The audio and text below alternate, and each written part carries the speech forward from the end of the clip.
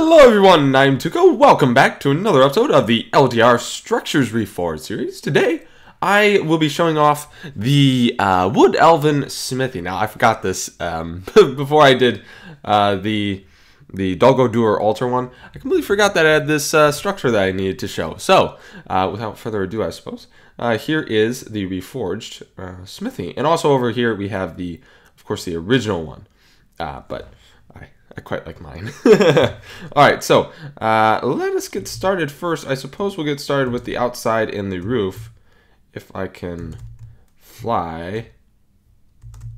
There we go. All right, so uh, I like the other uh, structures. There's a lot of, I guess, leaves and ivy, I suppose, uh, all around the build just to make it look a bit more natural, a bit more, I don't want to say run down, but a bit more, um, I guess, on the uh, on the kind of um, what do I want to say? Uh, kind of on the blending in of of uh, the surrounding trees and leaves and whatnot. So I definitely added that.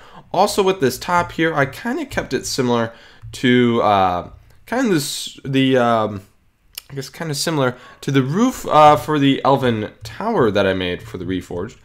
And I quite liked it, so I decided to keep it, and then also add like a, a chimney right in the middle where the, of course, the uh, furnace and all the smoke would be going.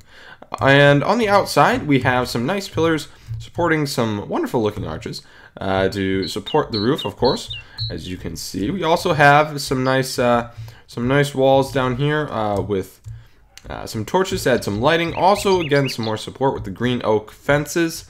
And for the uh, pillars, for replacing the pillars, I use the green oak wood simply because these pillars, they just they have like some sort of blue, like a blue hue or kind of like a, a grayish blue to it, and it doesn't really look too good with the forest surrounding it. So anyway, in the interior here, we have some nice, uh, we have some nice green oak struts, I suppose, uh, coming off of the furnace here. Uh, in order to add, again, some more support, some more nice, wonderful support uh, to the whole structure. We also have some nice, massive windows here and also a few side ones too, uh, for some added uh, for some added detail and I guess some nice some nice looks, I suppose. Also on either side here we have uh, two crafting benches, two regular crafting benches, and also two elven crafting benches, just for some nice symmetry. Uh, we also have coming around here we have some incomplete armor sets uh, that the of course the uh, smith is working on as you come into his shop. We also have some uh, anvils, one there and one over here.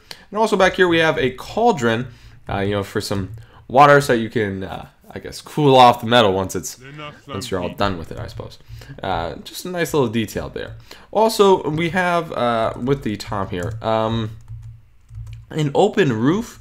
Uh, just give it a bit more detail and also some nice some nice coloration because I mean just this stone be kind of boring. So we also have the green from the from the uh, roof in here. Just give it that added nice little nice little look.